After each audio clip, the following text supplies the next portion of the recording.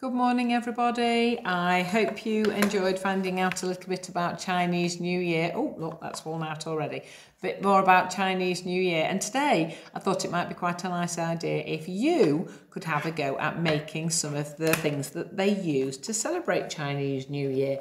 Now, we had got a lantern there. Now, I will put out on the internet for you, I'll put it on the website, uh, an easy way to make your own lantern, okay?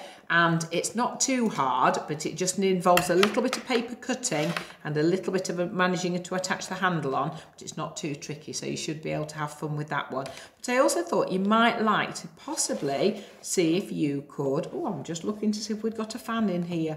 I can't quite see one, but I've got one in my hand, so it's not a problem. Look, got a fan. Now, lots of people try and make a fan using some lollipop sticks with something over it, but you can do it actually with a paper plate. Cut a paper plate in half and get a lollipop stick as your handle.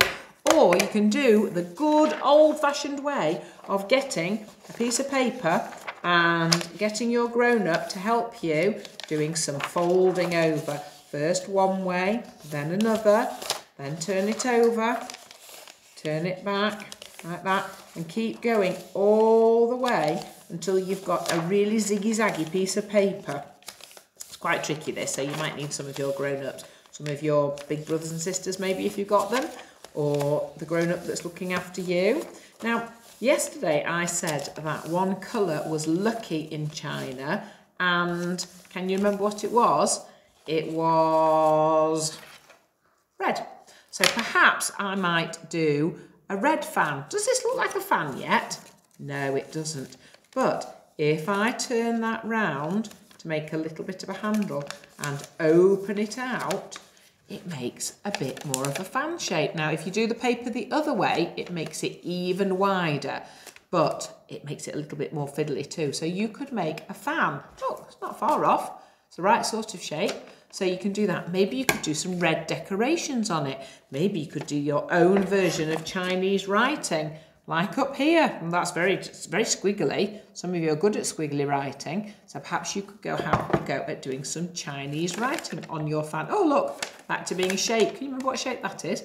It's uh, two long sides, two short sides. It's a rectangle. So perhaps you could have a go at making a fan and Uh, a lantern. You don't have to do both. You might decide which one you like doing. You might want to put your own Chinese writing on it. Okay, so have a go doing those. And I'd love to see the pictures of them, please. So have fun and enjoy doing all these lovely Chinese New Year things.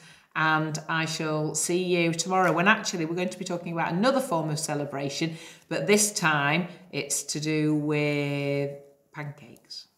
Okay, bye.